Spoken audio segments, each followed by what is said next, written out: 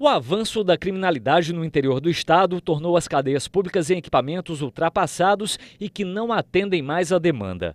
A falta de estrutura e segurança colocam em risco a população das cidades onde estão instaladas. As cadeias públicas são equipamentos obsoletos para a execução penal, ou seja, elas já não acompanham a realidade dos municípios. São equipamentos que não prestam mais, não servem mais para a custódia nos termos é, hoje atuais e, sobretudo, diante da realidade das facções criminosas. As 136 cadeias têm capacidade para 3.500 presos, mas abrigam hoje quase 9 mil homens. A proposta do governo do estado é transformar todas em 14 unidades penitenciárias regionalizadas. O Conselho Penitenciário deu parecer favorável ao projeto, que seria, inclusive, uma forma de conter o avanço das facções criminosas no Ceará. Seria uma forma porque você teria, primeiro, uma custódia mais aparelhada. Se você tentar também criar apenas um prédio,